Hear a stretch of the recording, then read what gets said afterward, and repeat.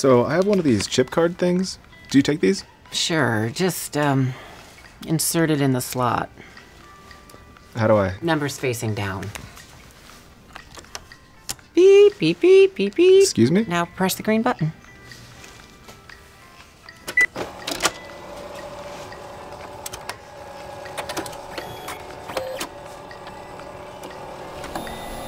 Just leave it in there. They say this is more secure. Mm-hmm. With Heartland, accepting EMV payments is easy and secure. Contact Heartland today. Do you need a receipt?